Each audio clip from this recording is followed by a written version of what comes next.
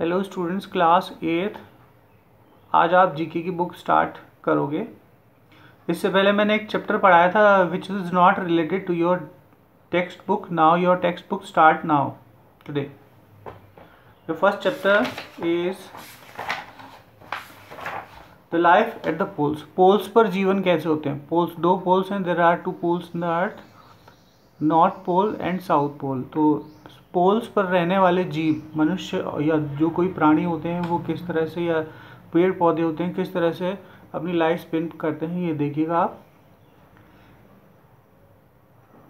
Antarctic and Antarctica are two of the coldest windiest driest and highest continent of earth ये दो अर्थ ये दो continent पृथ्वी के सबसे ज़्यादा ठंडे और दुर्लभ जीवन के हैं। दीज आर टू डेजर्ट्स ये दो डेजर्ट्स भी देर यहाँ दो रेगिस्तान भी हैं permanent human resident however they are home of many species of flora and fauna भिन्न प्रकार के पौधे, भिन्न प्रकार के जीव मिलते हैं आइडेंटिफाई उन्हें पहचानिए।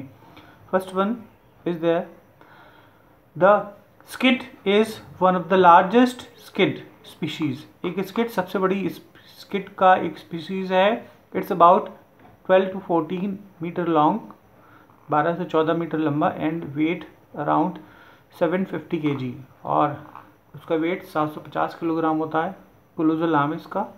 Second the largest animal with short broad snout एक बहुत बड़ा एनिमल जिसका बहुत चौड़ा सा स्नाउट होता है they can be found snout माने सामने का हिस्सा they can be found breeding in the South Georgia South Georgia में ब्रीडिंग करता हुआ दिखता है गर्मी गर्मियों में इसका नाम है fur seal around 1150 species of have been found in Antarctica किस चीज़ की आ, किस चीज़ की स्पीशीज़ हैं? तो ये फंजाई की हैं। Mainly occurring on the earth Dundee island and the south आइसटेल्ट shell sheet Shetland आइसटेल्ट Arctic is one of the who only flowering plants native of Arctic. अजीब सी घास पाई जाती है आइसलैंड में, अंटार्कटिक में, जो कि हेयर ग्रास कहते हैं इसे। Antarctica is one of the flowering plant in Antarctica region Antarctica में एक बहुत बड़ा फ्लोरिंग पौधों का एक बहुत बड़ा क्षेत्र इट हैज़ वाइट फ्लावर्स इसमें सफ़ेद फूल होते हैं अबाउट 15 सेंटीमीटर पाँच सेंटीमीटर लंबे और कुशन लाइक होते हैं। मॉस लाइक अपीयरेंस दिखाई देती है, इसे कहते हैं पल टार क्या कहते हैं? पल वॉल्ट पल वॉट उसके बाद है तो Patagonian is found in ice cold water around the sea Antarctic island Patagonian पाए जाते हैं आइस कोल्ड ठंडे, बहुत ज़्यादा ठंडे प्रदेशों में। It popular amongst the commercial fishes. और ये कमर्शियल फिशेस के लिए इस्तेमाल की जाती है, कमर्शियल खाने के लिए। इसका नाम है टूथ फ़िश दांतों वाली मछली।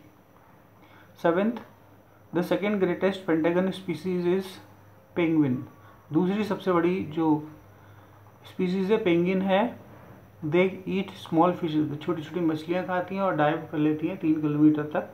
इसका नाम है बच्चों king. Second chapter unique plants ये है this is one unique plants अजीब से पौधे ये देखिएगा this plant has no petals इसमें दल पुंज नहीं होते हैं flower instead big big swollen chamber बड़ा सा सूला हुआ चैम्बर होता है कलरफुल वेन्स और अनप्लीजेंट अजीब सी उसमें बदबू आती है इसका नाम है पेलिकल पेलिकन फ्लावर सेकेंड है parasitic plant lack of roots इसमें जड़ें नहीं पाई जाती रूट लाइक स्ट्रक्चर रूट जैसी जो चीज़ें होती हैं ब्रांचेज होती हैं anchors itself, roots and absorb the water nutrients from it. ये पानी और उन्हीं रचनाओं से ये पानी सींचता है, पानी पानी सोखता है, इसका नाम है mistletoe. This is only eucalyptus species found naturally in the northern hemisphere hemisphere में प्राकृतिक रूप से उगने वाला अकेला यूकलेप्टिस है कलरफुल ट्रंक होता है, इसके अंदर मल्टी कलर्ड स्टीक इसका नाम है बच्चों रेनबो यूकलिप्टिस इसका नाम है रेनबो यूकलिप्टिस डिपेंडिंग ऑन इस सब स्पीसीज अपनी छोटी जातियों पर निर्भरता है the flowering plants can be either a vine of sharp चाहे वो झाड़ी हो सकता है या लता हो सकती है।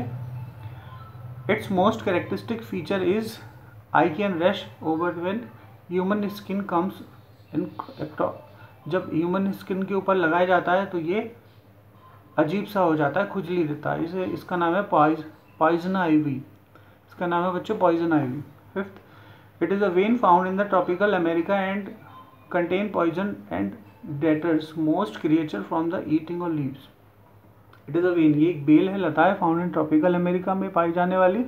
कंटेन पॉइजन इसमें बहुत सारा विष भरा रहता है deters most creature the eating of leaves और इसके पत्ते खाने से उन्हें खतरा हो सकता है। इसका नाम है passion flower six also called a sensitive sleepy plant इसे सोने वाला पौधा भी कहा जाता है। It has a pretty star shaped pink blossom and compound flower इसके ऊपर बहुत प्यारे से फूल लगे होते हैं। कंपाउंड निश्चित and curls in will drop when touch the skin और इसके ऊपर जब बूंदें गिरती हैं तो इसके ऊपर लगी रहती है। इसका नाम है mimosa pudica seventh last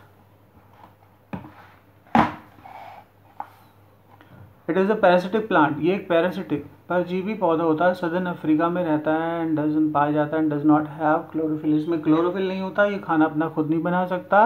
it grows underground ये ज़मीन के अंदर। It is fleshy flower emerge इसमें बहुत सारा इसका फूल फ्लैशी होता है, मास जैसा होता है। Above the ground emits and foul odour of attracting पॉलिनर्स pollinators और इसमें से बदबू आती है और जो भी इसे अट्रैक्ट करता है, उसे बदबू आती है। इसका नाम है हाइग्रोनोर हाइग्नोर हाइग्नोर एफ्रिकाना तो इस तरह से बच्चों, आपके दो चैप्टर हो गए आप तैयार कर लीजिएगा। इसके साथ इसकी होमवर्क की पीडीएफ भेजिए, मैंने वो कॉपी में टेक्स्ट बुक में कर लीजिएगा आप टेक्स्ट कॉपी में।